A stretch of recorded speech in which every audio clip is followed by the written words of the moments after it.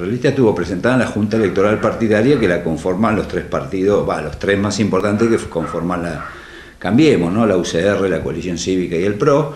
Y bueno, lo que no pasó es esa, esa instancia, no pasó el acuerdo entre los tres partidos, ¿no?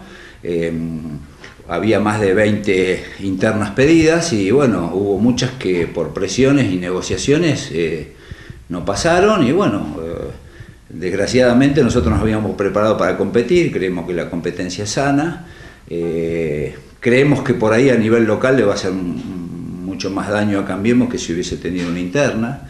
Acá hubo un pedido, un pedido a nivel local del PRO diciendo que nuestra lista era bancada por el intendente, por el Frente Renovador, que, que yo no tengo como quien diría, como, como que la gente no me puede ver a mí como parte de, Cambiemos, porque yo vengo de la concejalía mía desde la lista del Frente Renovador, creo que lo he explicado tantas veces eh, que el PRO en ese momento, lo que es Macri, no se animaron a, presentar candidatos y dejaron en manos de, de, Massa eh, evitar la re reelección de Cristina. Todos saben que en la mayoría de los distritos hubo lo que se llamó lista de unidad. Yo nunca tuve ninguna conversación para, para el tema de lista de unidad. Y también eh, creo que lo he hecho público en un determinado momento. Nosotros acá tenemos muy, poco, muy pocos cargos posibles para llegar al Consejo Liberante. Yo creo que nos, tendría, nos tendría que haber encontrado unidos, eh, unidos por ahí porque en una paso nos hubiésemos fortalecido, yo creo que la paso hubiese fortalecido el espacio que Cambiemos.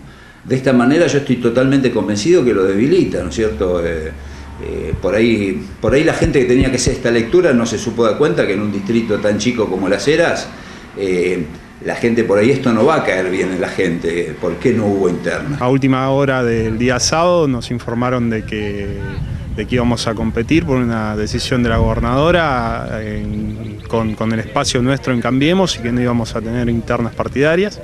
Y bueno, y esto es una decisión a nivel provincial que no solo pasó en el distrito de General Las sino en casi todos los distritos este, de la zona y en la provincia de Buenos Aires. Tenemos primero el, poder para subir o bajar una lista. Nosotros desde nuestro trabajo a veces silencioso, a veces este, llevando eh, la voz de la gobernadora y el presidente a cada rincón de las Heras, tratamos de hacer lo mejor a nuestro entender para, seguir sumando en, nuestra ciudad. Esta es una decisión directa de la gobernadora y María Eugenia eligió al espacio de Cambiemos las Heras, que hace 18 meses que venimos trabajando conjuntamente con la gobernadora, que seamos los representantes en la próxima elección.